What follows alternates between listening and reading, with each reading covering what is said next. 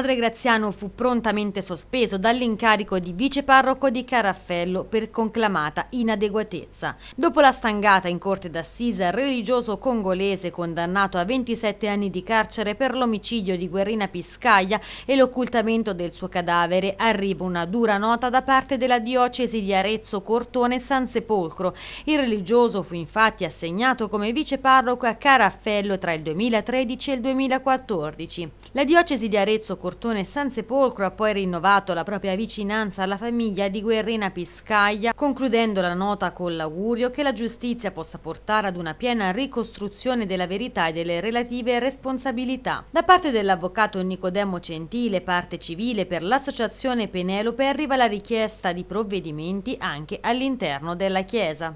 Deve essere sospeso immediatamente perché è giusto così vogliono le cose, così ha voluto lui che non si è assolutamente aiutato. Intanto il frate non tornerà in carcere sino a sentenza definitiva. Per il religioso restano infatti in vigore gli arresti domiciliari che sta scontando nel convento romano dell'ordine premostratense. Si è chiuso dunque il primo capitolo giudiziario del caso della scomparsa di Guerrina proprio nel giorno in cui la donna avrebbe compiuto 52 anni. Il pensiero ed i commenti dei parenti in aula presenti alla lettura della sentenza erano tutti rivolti al figlio della donna scomparsa, Lorenzo Alessandrini. Lui ieri sera mi ha detto zia facciamo gli auguri alla mamma domani. Sì, ho detto glieli facciamo.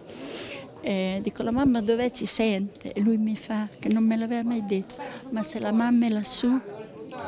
Io ho capito che lui voleva dire se la mamma è lassù lo, glielo facciamo lo stesso perché sente meglio che è diventato un angelo. Ah sì zia mi ha abbracciato e mi ha baciato